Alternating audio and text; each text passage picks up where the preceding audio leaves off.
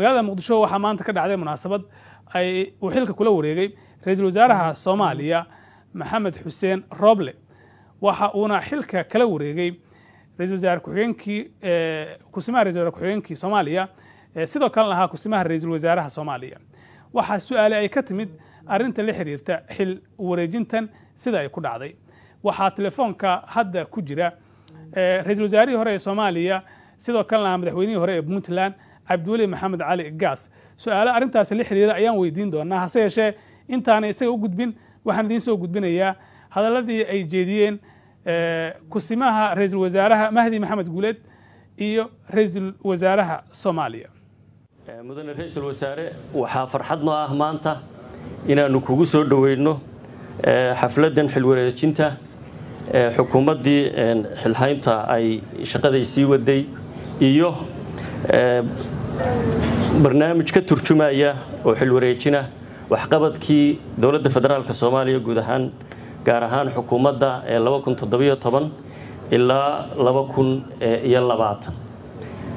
kuwaasoo ku salaysan dhammaantood ballanqaadkii madaxweynaha jamhuuriyadda federaalk soomaaliya iyo siyaasaddii uu ballan qaaday inuu ka dhabayn doono kuna hagi doono dalka muddaxileedka afarta sanno ah ee loo igmaday inuu dalka hogaamiyo sidaa xasuusataan haddaan soo koobo.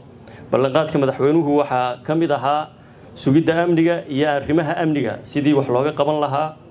Dib u heshiisiinta dibu eegista dastuurka dibuhabaynta dhaqaalaha iyo dakhli kordhinta sarraynta sharciga iyo dibuhabaynta hay'adaha garsoorka xoojinta nidaamka federaalka ah iyo hirgelinta doorashooyin dimuqraadi ah oo dalka ka qabsooma. Arrimaha amniga wax badan baa ka hirgalay kana qabsoomay.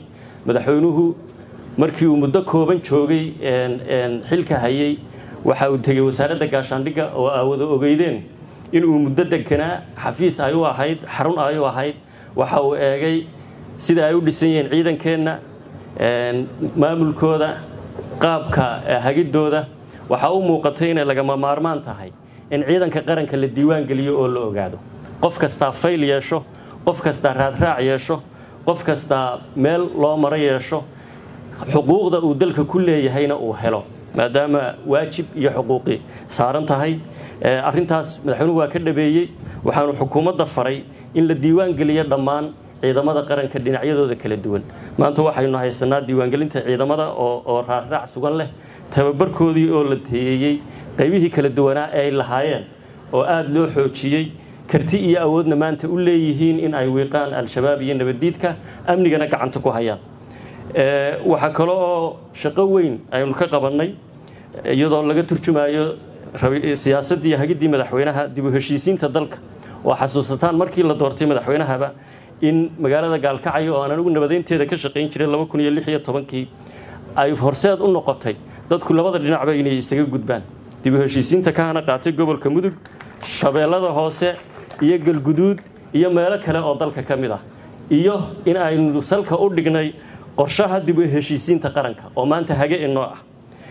Dibugeyista dastuurka oo dhammaystiran dhinacyadeedii xagga farsamada guud ahaan cutubyadii ay ka koobnayd oo shaqo weyn oo iyadana la qabtay ah maamulada iyo dowladda federaalka iyo dowlad goboleedaduna ka wada qayb qaateen dhammaystirkiisuna wasaaradda dastuurka iyo xukuumadda iyo hay'adaha dastuurka u xil saaran ee labada ahba ay u taallo inay meel mariyaan waxaa sharaf ii ah in aan maanta oo ay taariikhdu tahay toddobaiylabaaatankii bisha sebtembar si rasmi ah aan ula wareego xilka ra'iisul wasaaraha jamhuuriyadda federaalk soomaaliya.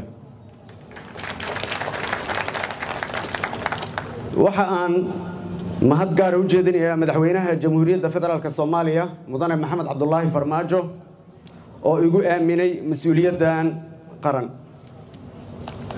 mudanayaasha golaha shacabka ee kalsoonidooda i waxaan uga mahad celinayaa kusimaha ra'iisul wasaaraha mudane mahdi maxamuud guuleed iyo xubnaha golaha wasiirada ee xilka sii haya howlwadeennada iyo shaqaalaha xafiiska ra'iisul wasaaraha. Howlahii adkaa ee aadka u wanaagsanaa ay soo qabteen muddadii saddexdii sano iyo barka ay ahayd ee la soo dhaafay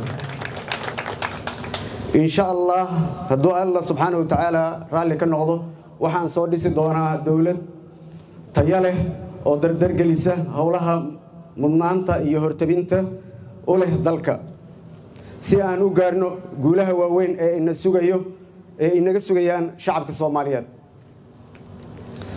Si aan wax uga uga qabto tacadiyada lagula kaco haweenka iyo carruurta soomaaliyeed iyadana mudnaanta koowaad ayaan siinayaa taasoo muddo badan nagu soo noqnoqotay waxaan magacaabi doonaa insha allah khabiir sharci oo xil weyn iska saara baarista si uu ugala shaqeeyo hay'adaha cadaaladda iyo garsoorka.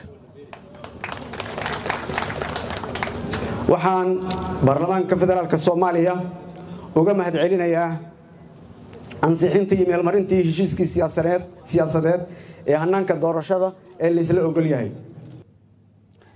Waayahay inta aan kaga soo laabno kelmadahaasi ay jeediyeen telefoonka aan aado ra'iisul wasaarihii soomaaliya cabdiweli maxamed cali gaas. Mudane waa ku soo dhaweynayaa marka hore intaa kadib xil wareejinta sida ay u dhacday dabcan waad la socotay sharciga ma ku salaysan tahay markaad eegto? Walaal horta waxa weeye aniga waxay iila muuqataa inay inay soo shito lahayn sharcinimadeeda dastuurka in la aado weeye laakiin aniga shito ilama muuqato sababta waxa weeye ra'iisul wasaaruhu markuu meesha ka tegey ku-xigeenkiisii oo isku xafiis yihiin ayaa xilka loo wareegay isagii ayaa hadda xilka wareejiyey marka muhiimaddu waxa weeye mahdi iyo xasan cali khayre xafiis weeye waa waa ra'iisul wasaare iyo ku-xigeenkiisii waa hal xafiis weeye marka hadduu dee ra'isul wasaarihii tegey kana uu kusimo ahaa muddo hadda yacni oo laba bilood ku dhow hadeesan yani dhoweynba ayaa meesha joogay. Waxaa la wareejinayana waa xafiise anigu yani meesha in la shaksiyadeeyo la qofeeyo anigu uma arko inay sax tahay. Marka de waxaan aaminsanahay inay haddii uu xil wareejinta maanta dhacday ay tahay in mid lagu qanci karo oo saxa ma garan waay laakiin haddii ra'iisul wasaarihii kalsoonida lagala noqday uu joogo waddankii uu leeyahay diyaaraan u ahay in aan wareejiyo xilkii oo nidaamkii dastuuriga aan maro. Miyaanay ahayn in la aqbalo arrinta? Maya ra'isul wasaaruhu ma isagaa codsaday inuu xilka wareejiyo? Isagaa codsaday warqad furan ayuuna qoray haddee waxa weeye ra'isul wasaaraha sida anigu hore uga hadlay qaabkii loo looga qaaday xilka qaab sharciyada ma ahayn qaab dastuuriyana ma ahayn marka haddii si sharci daraa looga qaaday xafiiska isaga maxaa hadda wanaaga oo ku jira oo ka u codsanaya ku falayaa inuu isagu xil wareejiyo? Haddiiba markii horeba si sharci daraa looga qaaday hadda tii horaaba sharci darro ahayde tan marka sharciyadeedu maxay waxa uu leeyahay maadaama markii horena isaga oo sheegay inay sharci darro ahayd halka qaadistiisa uu aqbalay haddana waxaan diyaar u ahay uu yidhi in aan nidaamkii dawliga ahaa iyo sidii mas'uuliyadda la isugu wareeji jiray aan maro codsi ayuuna arrintaa ku aadan soo diray. Marka haddii qofku wanaagga uu doonayo waayahay aniga runtii waa ila qumanay. Isagu codsaday. In codsigaa la tixgeliyo oo uu wareejiyo waa ila qumanayd wayna ku wanaagsanayd in lagu sharfo ra'isul wasaarihii tegey inuu xilka wareejiyo way ku qumanayd laakiin haddii fursaddaa la sii waayey anigu in hadal laga daba tuuro ra'isul wasaaraha cusub iyo xil wareejintiisa iyo kii joogada oo aan is leeyahay shaqada wuu ku fillaa intii uu ka baxay meesha ra'isul wasaarihii hore in hadda yani xil wareejintooda badan ila suubin mayso. Marka wax wax sharciyad ila tahay anigu wax sharciga iyo dastuurka ka hor imaanaya ma lahana ma ahanaad leedahay arrintan. Maya aniga umalayn mayo umalayn mayo xasan anigu waxaan kula talin lahaa waxa weye aniga anigu gabay baa jiray soomaaliya oo la oran jiray. Rag kaa halkii aan lagaa rabin indhaha lama sii raaco marka aniga ilama muuqata xasan hadda inuu isagu yidhaahdo oo raadiyo oo yidhaahdo anaa xilka wareejinaya sharci darra looga qaaday waa uu tegey si sharaf luu ku tegey hadal fiican buu jeediyey. Intaas inay ku ekaataan baa ficnaan lahayd. Haddii hadda uu codsaday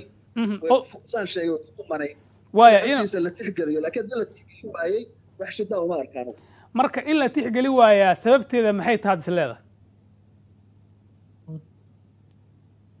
taas hadda aniga kama jawaabi karo laakiin dee ku-xigeenkiisii oo xafiiska la joogay haddii dee faylal gaarahoo qarsoodi ahoo sirahoo dee xasan calkhayre keliya ku koobnaa hadday jiraan waa meesheeda.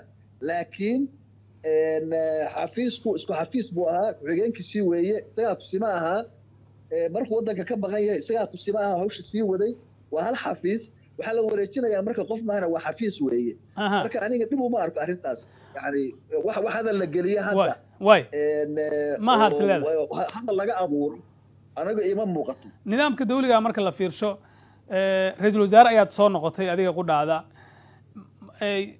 waxaa suuragala inay jiri karaan mararka qaar waxyaabo muhiim ah oo dowladnimada quseeya. Meelihii howlaha ay marayeen waxa dhiman. Si ra'iisul wasaaraha cusub uu u helo warbixin buuxda sow lagama yaabo in ra'iisul wasaaruhu markaa hayo wax ka badan ama og yahay inta ra'iisul wasaare ku-xigeenku uu heli karo. Hadda waaba iriba hadda waa sheegay haddii ay jiraan howlo gaar ah oo qarsoodi ah oo sir ah oo mahdi laga qarinayay oo xasan keliya ku koobnaa hadday jiraan waa meesheeda. Inay jiraanse xataa u malaynmaya arrintaasi sababtoo ah wuxuu waa xafiis waa ra'iisul wasaare waa ku-xigeenkiisii yani wax qarsoodi oo sir ah oo ka dhaxaysa oo gaar inay jirto u malaynmayo wixii talaa oo hadda uu madax ra'isul wasaarihii hore ku biirinayo wasaaraha cusubna weliba ku biiri kara fadhiyaado shida ma jirto oo waxa weeye mar walbaaba walaalkiis xafiiska yimid weeye. Inuu advice siiyo tala siiyo hadduu wax gaarahoo hayana dee ku biiriyo waa ay fiican tahay. Laakiin hadda waxa weeye inaanu we should not make maaragtay mountain arrow xaggaladu yidhaahdaan oo ah yani wax dudumo daloolkeed la eg. Buur laga dhigan hadda oo la burburinin aniga lama muuqato marka wax wax wax culus uma aragtid adiga. Sida muuqata. Mada uma arko. Absolutely uma arko. Waaya dabcan ra'iisul wasaaraha cusub hadda xukuumad inuu soo dhisa ayaa laga sugayaa. Taladaadu maxay tahay? Ma inuu soo celsho xubnihii hore iyo xukuumaddii hore mise inuu xukuumad cusub soo dhiso? Walaal taladaas laba jeer baan bixiyo laiga waraystay. Haddana iyadaan ku celinayaa anigu waxaan u arkaa wakti yar baa haray wasiir cusubi dee dabcan inta uu xafiiska la qabsanayo environmentka baranayo bii'adda fahmayo ayaa wakti qaadanaysa hawl culus baana taalla xilli kale guraa lagu jiraa. Anigu waxaan aaminsanahay wasiiradii saddexda bar iyo saddex sano saddex sano iyo bariya ka badan shaqada soo hayay shaqada in loo daayo ayaguna ay sii wadaan. Ninkii dee duruuf gaaray ka reebto ama miisaanka qabiilku ka reebo ama yani shido kale ay jirto waa meesheeda. Laakiin anigu hadda hol new cabinet cabinet cusub oo yani iyadoo hawsha culus ay taallo kala guur lagu jiro anigu wax soo kordhaya ay wataan aad ayuu umahadsan yahay kaasi wuxuu ahaa ra'isul wasaarihii wasaarihii hore ee soomaaliya cabdiweli maxamed cali gaas sidoo kale lahaa madaxweynihii hore ee puntland oo qadka telefoonka isagoo toos ugu jira iigu u warramayay aad baad u mahadsan